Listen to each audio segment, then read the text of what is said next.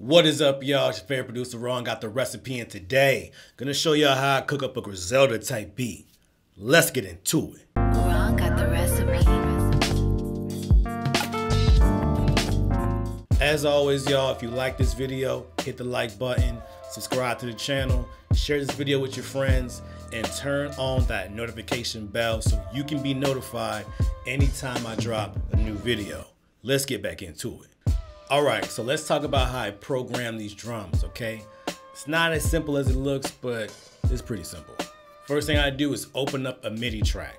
Once I open my MIDI track up, I'm gonna plug up my Yamaha electric drum kit, which makes my life really easy, my super cheat code when I do any kind of live instrumentation or any MIDI drums in Kontakt or in battery like I'm showing you guys right now. My battery is probably gonna look a little bit or a lot of bit different from your battery because I've got some dope expansion packs that I bought from all my years of using Maschine. I really recommend battery because it groups all your Maschine expansion packs, all your Kontakt expansion sounds into one place. So you can do a lot of damage in one VST plugin. The next thing I'm gonna do is go on the battery and pick out the sounds I'm actually going to use. Simply go to the kit section. Once you hit that kits drop down, select drums. The possibilities are endless. You're gonna have acoustic drums, urban drums, live drums, digital drums. You got a bunch of drums to choose from. All kind of drum kits under that section. It's gonna be your job to pick out what's dope for you. And as always, you don't have to use battery. You can use whatever you want. All right, so here's the tricky part.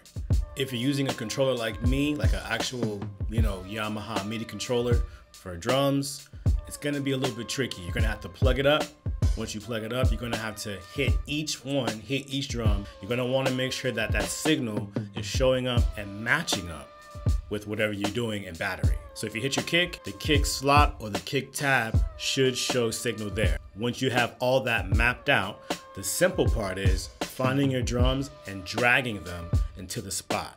Example, you find where your kick is at, you know your kick is there, now you need to go to the kits tab, find the right drums, and drag and drop the kick onto that slot. All right, so let's talk about the groove. The BPM I went with was 78. Griselda usually likes to pick like slower, dirtier, grimy beats, and those drums really feel good at 78. You can even go to like 73, 75 in that range if you're really trying to get that gritty, grimy Griselda type feel. You want to keep in mind that you don't want all your beats to line up on the bars, okay? This is probably one of the few times where you're gonna not wanna use that quantization feature. The reason why is because we want that laid back kind of feeling, okay? We don't want things to be on top of the beat like pop music or like modern hip hop or even rock. We want that more jazz, uh, free feel kind of feel in order to really, really get into that Griselda type vibe. Let's talk about this sample. So I'm using two samples.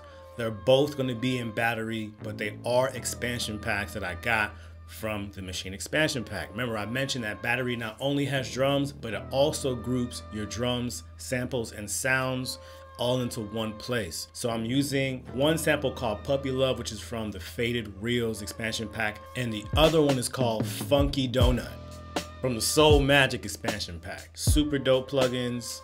Go check them out. For the Puppy Love sample, all I did was play, was hold down one key, play it for a minute, duplicate that track, freeze that track. Now I can drag and drop that sample into my simpler. Now I have the freedom to take it a step up, take it a step down. I can play keys on it, whatever I like. I've got a lot more freedom to manipulate that sample into the beat. I didn't do that with the Funky Donut sample. That sample is stayed in battery and it's only gonna play a couple of times throughout each measure. I think on every fourth bar, the sample will ring a little bit. I also added a little bit of delay to the sample. I'm using the stock Ableton delay just so I add a little bit more of like that Griselda-y kind of feel to it. It's in the background, it's not in your face. It's very subtle, but it still makes a difference inside the beat. All right, so let's talk bass. This gonna be quick. All right, so for Griselda type beats, you don't want to have a super funky, crazy bass line. You want that thing to be as simple as possible. All I'm doing for this bass line really is playing one or two notes. The downbeat is your friend.